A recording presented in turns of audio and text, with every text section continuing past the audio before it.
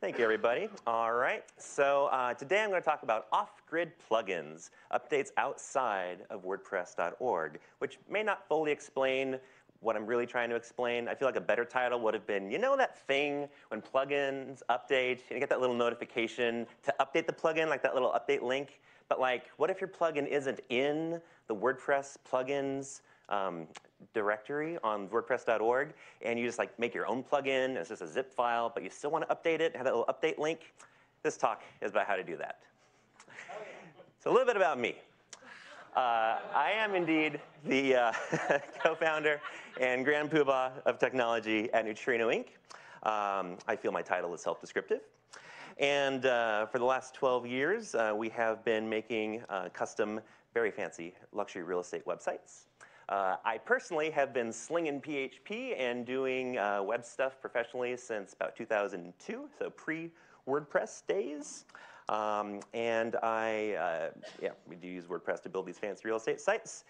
And I want to let you know all up front that all of the slides and all of the files that we'll be going through will be available um, online after this session.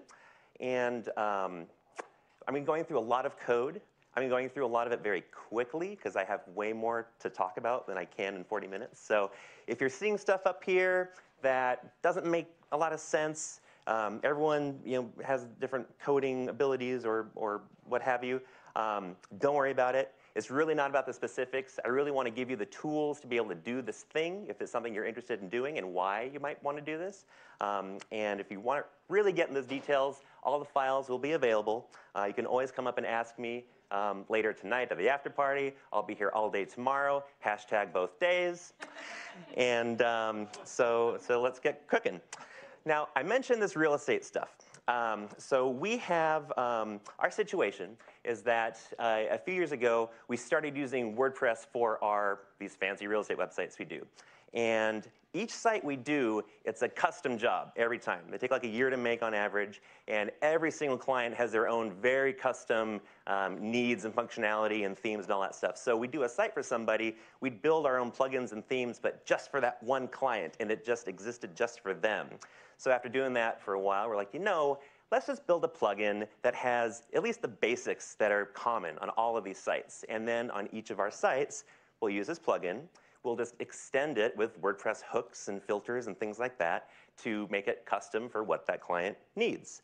But this being the internet, things change over time, and we definitely need a way to be able to update this core plugin for all of our, our clients. But that kind of plugin doesn't really work, at least in my opinion, in the publicly available WordPress plugins directory, because it really only affects our, our clients. So um, that comes to, you know, what is an off-grid plugin? What are we talking about here? So an off-grid plugin, it's a plugin that's not stored on WordPress.org, but it still has all the neat features in one that is. So most importantly, this auto-updating, uh, also having robust information about itself, pictures, resources, stuff like that. Um, and then why is an off-grid plugin? Well, in our case, is a plugin that just doesn't apply to the general public. So it's only a subset of, of people who actually could use this thing. People who use our plugin, they also have to have our backend system that kind of drives the data. So if a regular person just put this on their site, it wouldn't do anything for them. Um, another reason, I think most people are interested in this sort of thing for, is you want to sell a plugin. And so saying, you're not going to get that plugin code unless you pay me 50 bucks up front, that sort of thing. Um, and then have that plugin able to update itself over time.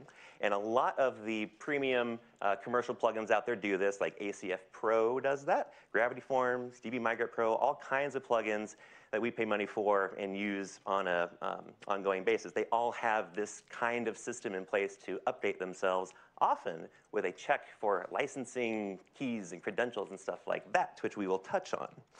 Uh, another reason would be you want to violate WordPress's terms of service for whatever reason.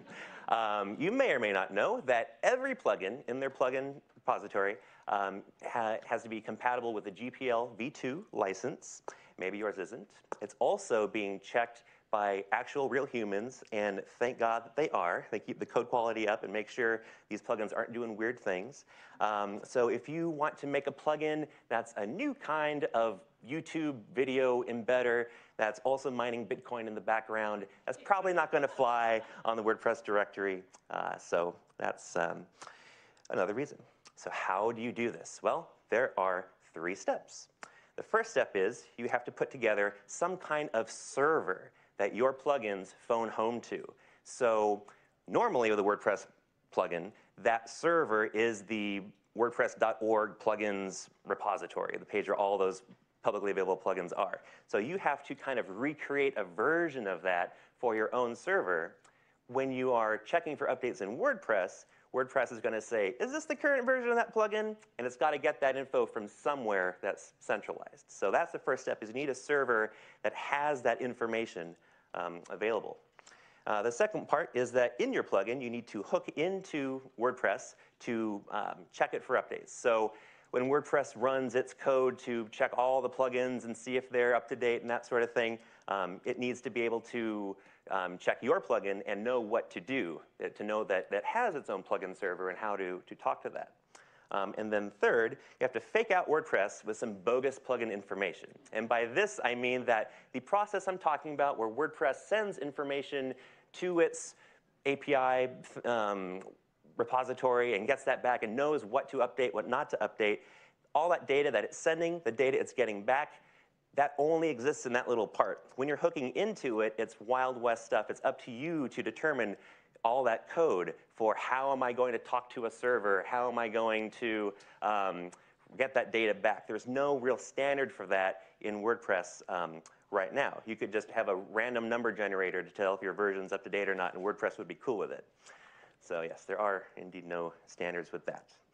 Uh, so here is a visual, of just the process of how that, that works. Um, so when you have this kind of off-grid plugin I'm talking, which by the way, off-grid plugin is a phrase I made up completely. If you Google that, I don't think you'll get anything. Um, I just thought it, it made sense. Uh, so if you have something like this, it's checking its own server. Uh, when WordPress tries to check for updates on plugins, it will listen to your hook first. And it will try to contact your um, plugin server for that information and bring it back to WordPress to let WordPress know I'm up to date or I'm not up to date. And there's a couple hooks um, in there that are really small. Um, Site Transient Update Plugins is the one that just checks if the version is higher or not than what you have already. Um, and then Plugins API is the one, there's another hook that actually shows when you view a plugin's details in WordPress, you like a little pop-up window thing that has all the information about it, how to install that sort of thing. Um, that's an API hook that gets that information as well. Um, so it does any of your custom code first, goes back to WordPress, then it runs it through for all the other plugins in one shot to api.wordpress.org is what actually stores that um, information for regular plugins. So there are a few solutions for this. Now I found, looking through this, that there's really not a lot of information about this online. Hence this talk, hence the last two months of my life, um, part-time. So the first one I found is this quick and dirty solution that we'll cover, and it's really just a real basic way to, to pull that off. So if all you want to do is you know, just have a plugin and be able to update it, but you're not worried about bells and whistles and all this stuff, this is, um, we'll go over it in just a moment. Um, this, this is a quick and dirty way to do it. Um, there's another way where if you're more comfortable with just keeping everything in like a WordPress kind of world, um, that server part that I'm talking about um, can be a WordPress site itself. And that server can maintain all your plugins and information, what's up to date, what's not. And so all the WordPress sites out there running your plugin will talk to this WordPress server back and forth. We'll cover that. Um, there's also a great way if you're using the Easy Digital Downloads plugin and you got 200 bucks, you can buy this software licensing extension, which if you are curious about writing a, um, a commercial plugin you want people to pay money for and keep it updated and have things like um, product keys and stuff like that to make sure licenses are up to date, this is totally the way to go, um, in my opinion. It's all in WordPress. Uh, it's also where it's, it's uh, WordPress server, WordPress install you set up as a server, um, and it is, um, it is very, very well put together, in my opinion. Uh, and then the last way is my way practicing for karaoke tonight. Um, so I went through kind of all these different solutions and, and some other ones, and I kind of came up with um, my own version that um, not only keeps the um, code overhead down, which is important to me, um, but also utilizes, I was talking about there's a lot of Wild West stuff. Well, I've really tried to keep things as um, consistent as possible with stuff that WordPress already does. Like all the stuff that you would do to write a plugin for the plugin directory on WordPress.org, to keep all that stuff the same and utilize that to fuel this process. Without further ado, it is code time. Not actually me writing a lot of code, gonna be looking at a lot of code. Um, so let me do a quick little magic trick on my computer here. All right. Bingo. So the first thing we need to do, of course, when we're talking about plugins, is we need some kind of plugin to um, use as an example. So I happened to write a little plugin just for this. Um, it is called R Matey, and it will indeed make your website piratical by converting the letter R into a more seaworthy R. And so let's give that plugin a whirl. Here is a demo WordPress site, uh, just some dummy content loaded in. And if I hit refresh, you will see, oh, whoops, I did not activate the plugin. Activate the plugin first, that's important. Hop back over, this way, refresh. There we go. That's more like it. However, I can see some flaws in this plugin. You know, pirates are more sophisticated than this. They don't just say R, they say other things too. They say I. Um, also, this is just doing a blind search replace. This um, post-class link thing here, if I look at that, it's replacing the HTML code. Not sure if you can see that, but it's like target equals underscore blank. That's no good. So we should make an update to this plugin. And, uh, and let's push this thing out to everyone running this, this um, obviously premium plugin.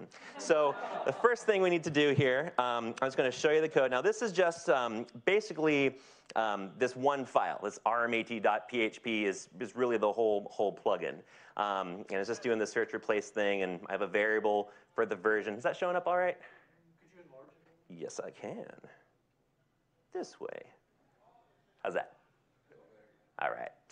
All right, so you know, I'm keeping track of the version and a couple other variables. Um, one thing that I do want to point out as well is that um, in this plugin, as in any plugin that you would submit to the, the real plugins directory, um, there's some information up at the top about this plugin, just some header information about what the name is, the URLs, version, stuff like that. Um, and there's also a readme.txt file. The readme file is used by the plugins directory to really supply all that stuff that you see on those plugin pages. So the, um, um, the description about it, how to install it, frequently asked questions. It's basically a markdown file, um, and uh, there is a lot of documentation on how to create this on the WordPress um, um online developer plugin handbook, which is a fantastic resource. So I just want to make that note and keep that in mind. All right, so back to our plugin. Um, I'm going to, um, I've already put in the code here that will use this quick and dirty um, method. Let me just load that sucker up here so we can take a look at it. This is just some person's GitHub repo that they're trying to solve this same problem, and they, um, they put together this code. They have really two files. One is a file that you include in your plugin, this WP Auto Update PHP. You include that in your plugin. That tells your plugin how to talk to this server thing. And then they have the server thing, which is what you set up on some URL out there. And that's going to keep all the information on what the current version is and provide the latest files, that sort of thing. So um, real quickly, you know, you, you would just include this file in your plugin. You would um, say new class, and you pass in some information of the current version, the remote path, that's the full URL to the server we keep talking about, and some other information, um, the plugin slug, uh, license information if you want to do that, and so on. So that's the stuff that goes in the plugin to make this connection.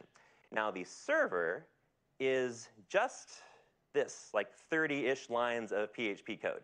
And um, you would just upload this somewhere on the web, say updates.armyhearty.com or something. Um, and this one PHP file it's very lean. It just has hard-coded in it. Um, it's going to receive a variable for um, called action, and if it has the word version come over, it's going to spit out 1.1, and that's just typed out, just hard-coded in. So that's that's as advanced as this kind of code is. If it goes for info, now info, that's the one that has all the more detailed version um, of the um, um, plugin information. So that has some more information that can be shown there. Uh, and then lastly, just in this case, if it doesn't get anything, it's just going to spit out the zip file of this particular plugin. So we have done that here. Uh, we are including that file right there, and we are instantiating it with the version of this and the full URL to the um, plugin server. And then this tricky little plugin base name underscore file thing, that's a, a little trick um, that's actually a WordPress um, function, plugin base name, to create what WordPress recognizes as the plugin name for whatever file this is that you're, you're in. And I am in the plugin file, so that's how it comes out. Um, so now I've uncommented this code. Let's go and hit refresh in our admin area. I have just hit refresh, and nothing has changed. And that is because WordPress is smart and it caches all of its requests. It says, you know, I just checked for all which plugins are up to date like a couple minutes ago. I'm not going to check it again for, I'm not quite sure how long the cache lasts, like an hour or something. So um, if you're in this situation, it, what it should have done is it should have shown that little update button. Uh, so you can give WordPress a little kick in the pants and force it to update if you go to Dashboard, Updates, and hit check again. It tells you the last time it checked. And voila, now it is indeed making that connection to our server. Our server is talking back to it, and it is telling it um, what the you know, updated version is. Let me hop back to our plugins page. And then you get this familiar, oh, there's a new version that's available. Hey, you know, let's check out the details. I do want to check out the details. Let's hit that. And so we'll see, all right, well, there's a change log, and there's some information. It was last updated five days ago. It's compatible with this, and that's, um, that's pretty cool. And that's all coming from that info request um, that's being set in the server. Now, if I were to compare that to, say, Akismet, like a real plugin, I have a lot more stuff showing there. I've got banners, I've got reviews and ratings and all kinds of crazy stuff. A lot of these have screenshots. And I want all of that. Um, but this little scrappy 30-line piece of code is not going to do that. Um, but let's do the update. There's a little trick I learned testing out my presentation where I got to close out PhpStorm for this to actually work. Uh, so I will hit update now and updated. And you'll see right there version 1.1.0. And if I refresh here, you'll see that all of my R's are a little more sophisticated now. Look, we've got G's and H's. And it says, I, so says Davy Jones at the bottom. All right, well done. So that is just a real quick, scrappy way to, to do that. I want to make a quick note on versioning, by the way. So you'll notice that all of these plugins, mine excluded, that are real WordPress plugins, um, have this like version you know, 1.1.1 kind of thing. It's not like 1.0 or one fish or anything like that. And they are actually all adhering to a, a standard called semantic versioning, which is online at semver.org. Also a vocal exercise. And uh, this is um, important. I believe that WordPress follows these rules, but I know for sure that when it does um, the plugin comparisons, when it's comparing one version to another, um, that it does use this criteria. And so you might think, oh, how hard could it be to compare some numbers? Well, 2.1.0 is different than, uh, or 2.1.1 is different than 2.10.1 right? Which one would be higher? Which one would be lower? If I'm a computer, I don't know. But it's following this pattern, um, and uh, which actually corresponds to a, um, a PHP function, which is version compare. And if you look in the WordPress code, it's just straight up using this PHP function, which follows those rules. And so um, we should all be using that versioning uh, information as well.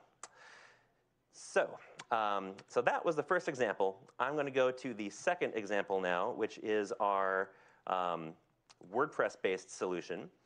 So hold on here, I'm going to just delete, I have on my left here all of the plugin files, which I'm deleting, and I have a preloaded example two of the second solution. I will now copy these. I should note too, that example that we were just looking at, the total file size, with, even with their included code that um, that example gave us, was something like, like 27K or 30K or something like that. This next solution that we're looking at, which also provides a file for you to include in your, your code to talk to its server and all that, is a bit more, um, it's, it's bigger. Um, if I look at that, it says it's 336K. So it's an extra 300K or so on top of your whatever your other file size is, which is kind of silly considering this is a 4K plugin.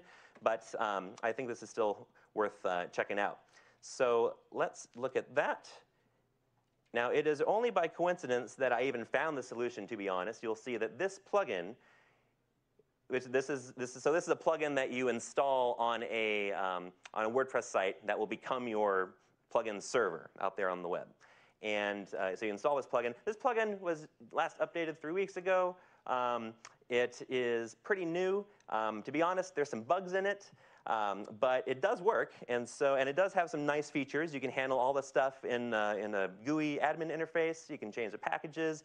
You can tap into another plugin, which is unrelated to this one, called Software License Manager, which can handle uh, licensing keys and things like that. Um, you can also set it to pull your um, plugin zip files from a remote source. So normally you would upload those files to the server, but maybe you have a process where you're making your plugin and it's all stored on GitHub or Amazon or something like that. So you could configure this to say, pull those files straight from GitHub uh, when there's an update, and it'll actually ping and check for updates and that sort of thing.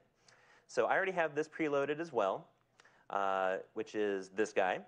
Let me just hit refresh here.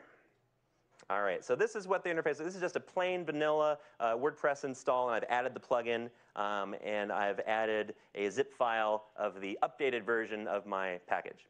So, and you can see there it says rmatey is the package name and the version, and um, you can hit a flag to require a license or not. Um, there are some various settings that you can change, and, um, and that is wonderful. Um, I would note if you are going to really try this out, though, um, this looks like you would be able to upload a zip file, but you actually cannot, or at least I could not. Um, I, if you try to upload it, it will fail. Instead, you have to follow their plan B, which is just upload a zip file to this location on your web server, and, um, and that does work fantastically well. So that's, that's all I did after I installed. I just uploaded a zip file and called it good. So you might start to ask yourself, well, if all you did was uploaded this rmat.zip, how does it know that the name is rmat and the version is this and then so on? And that is because this plugin is so cool. It is opening up that zip file behind the scenes, and it's finding your plugin header, it's finding your readme.txt, and it is pulling that data out. And so it's pulling that out here as a summary, but it's also displaying that information when you go to view those plugin details in your real WordPress site. So let's give that a shot.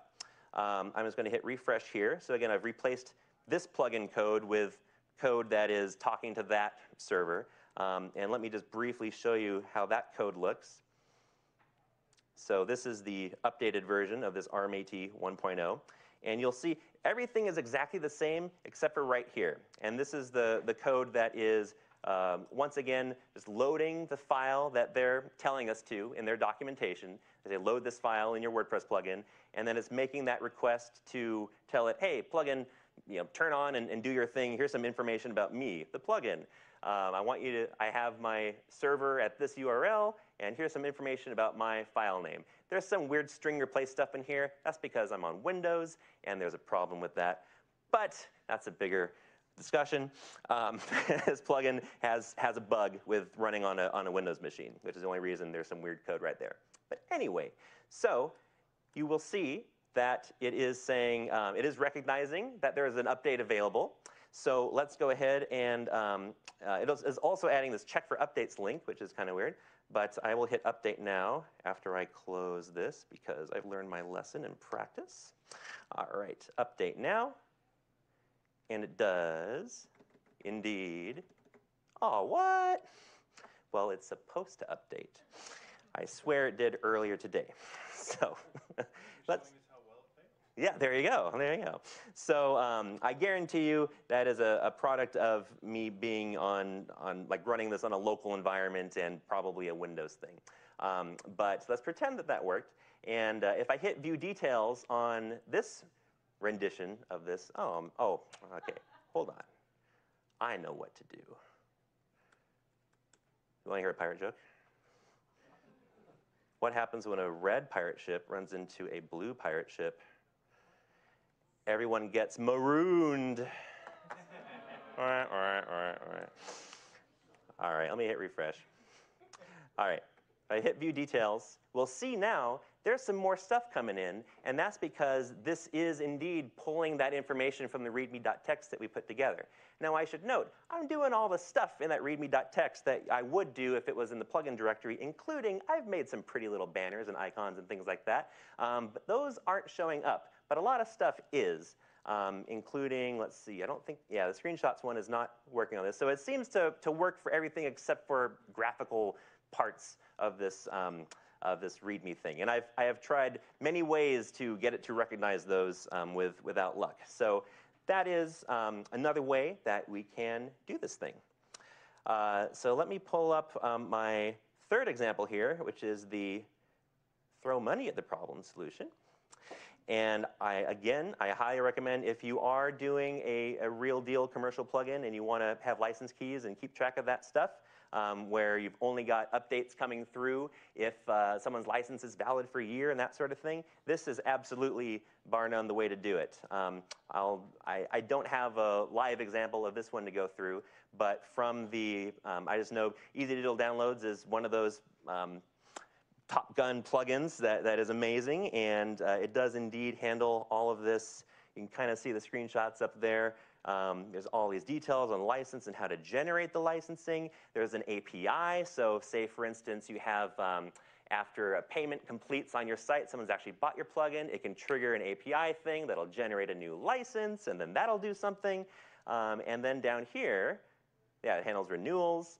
Um, it also has, yeah, there's different paths to upgrades for if there's, you know, different numbers of sites and for licensing. Uh, it's very, very detailed. And then down here, the part I was curious about is the, it does add one-click updates to your WordPress plugins. Oh, and it supports themes too. So you could do this with a custom theme.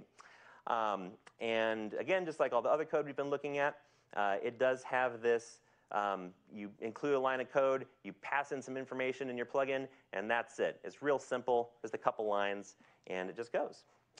All right, so now let's talk about the final solution that I have in place, which is the culmination of my journey with this. Uh, let me load up that example here. So this one was, um, you will note Again, we only have one extra PHP file um, in here. I, I, do have this up on GitHub, and there's a link to it at, at the end for you all to use. It's all open source. Um, so you just have to include this one little file into your, your plugin. And um, it is based on the work of this individual who has um, really gone through starts by talking about stuff that sucks. That's wonderful. Um, but he really dug into, um, you know, what are um, all of the things that WordPress looks for? What are all the hooks that, and the details and the data that it can show um, on, say, like that little pop-up window that we're looking at? And so it was really great to have this, um, this reference. So he's pointing out all the different little data points in his code. Um, and what was interesting is in his example, uh, oh, and he also explains the details of it too. So for a list of contributors on the side of your um, plugin information, you know, you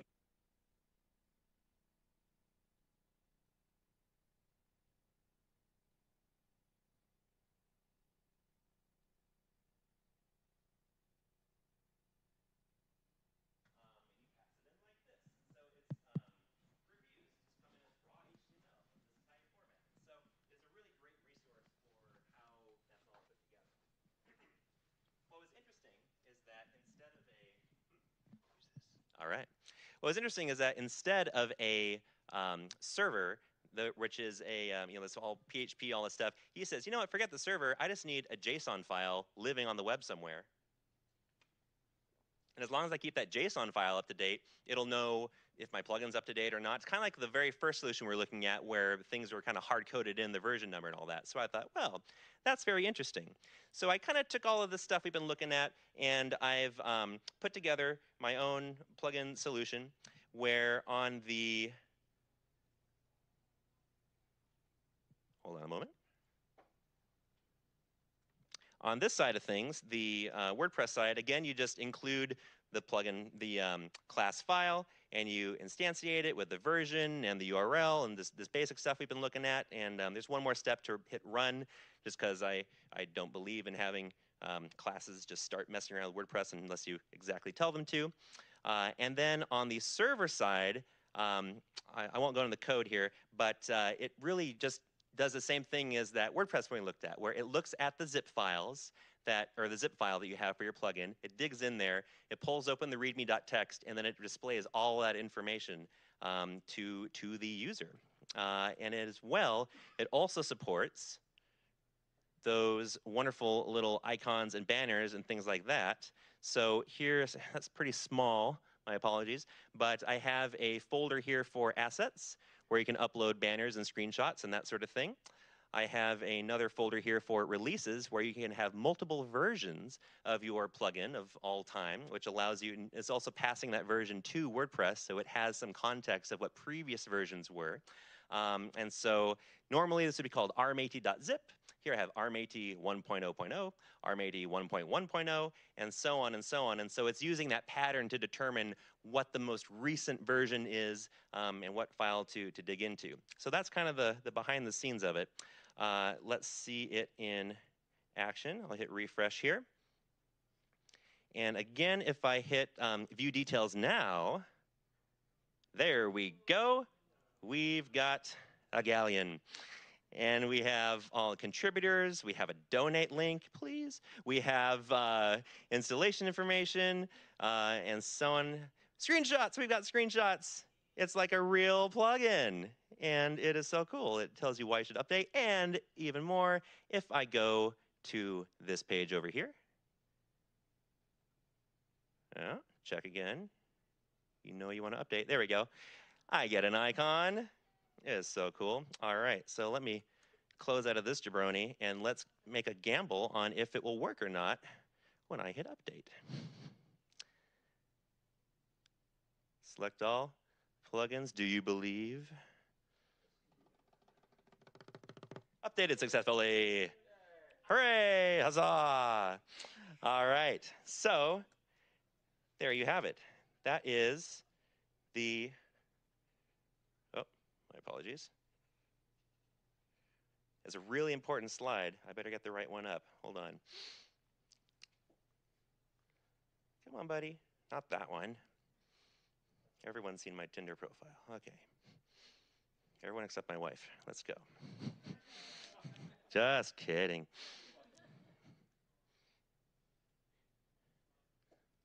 All right. So, there are some further resources available. First of all, you can get these slides in a cross-platform PDF format, and all of the files that I have, including my um, test-ish versions of all the different server sides of things um, on um, all here. It's, it's just a link to a GitHub uh, account there. Uh, and that also includes a link to the MyWay version of the plugin update server and some documentation how that works, um, updated at 1 a.m. last night. And uh, some other general details such as information on the semantic versioning, um, the WordPress plugin developer handbook, which I, I didn't show up here, but uh, it has all this great information on just all the stuff that you really should be doing for your plugin if it were going to go in the regular directory, including things like um, image dimensions for those banners and icons, and it supports SVG, so does my plugin. Um, README specs, um, there's a little shortcut to just generate a readme.txt file because they're very large and there's a lot of stuff in there, so it's nice to, nice to have a helping hand. Uh, obligatory link to piratejokes.net, which, forgive me, has not been updated in many years. I hope you enjoy the Flash header on that website. Uh, and if you really want to get into the super geeky stuff, um, you can actually see all of those individual data points that it um, that WordPress is using to make that little information modal window. Um, if you go into this file, wp-admin slash plugin dash install.php, and the function is called install plugin information, and it's got all the stuff listed out there. Uh, so there you have it. Um, I hope you found this useful, and um, if you like this presentation, my name is again is Mike Karikas. If you did not enjoy this presentation, then my name is Alex Vasquez. Thank you. There time for some questions? What's that? Oh, certainly. There you go. Anybody? Any questions? All right. Here, I've all left you all in amazement. Or you're ready for some, cam- some karaoke. You got a question? Uh, yeah, 'cause you mentioned briefly, uh, what you do for themes. Mhm. You, uh, that? I have not. But um, that Easy Digital Downloads one totally covers that situation. Um, that other WordPress one, I, I, my second solution here, also covers um, themes as well and version updates and so on. It's very similar, just different function names. Yeah. You over there? You recommend you go digital downloads?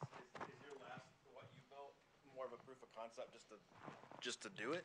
I would say Or- for, for this is a very selfish Like why? presentation because Yeah. it's it's a problem I had to solve. And in my case, it's for a plugin that applies to a bunch of people, but not everybody. So it didn't make sense to be on the, the public store. But we're not charging people for the plugin. And because of that, for us, we would rather have a, um, a more programmy way to just upload a zip file to a server and forget about it. As long as that zip file exists, everything updates and plugin updates go out to everyone and so on.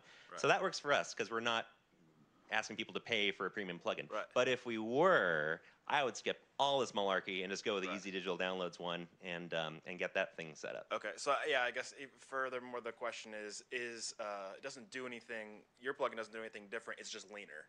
Right. Right, it's yeah. just- The overhead is almost zero with with mine, but Gotcha. doesn't support all the licensing keys and all that Sure, kind of stuff. So it. it's a lot of extra features that are wonderful if you need them in Easy Digital download. Gotcha, cool. EDD. Anyone else? No. All right. Well, thank you very much. I think we have um, we have a wrap up in what ten minutes. Yeah, 520 in the beach. be All right. Closing remarks. I'll see you at the beach.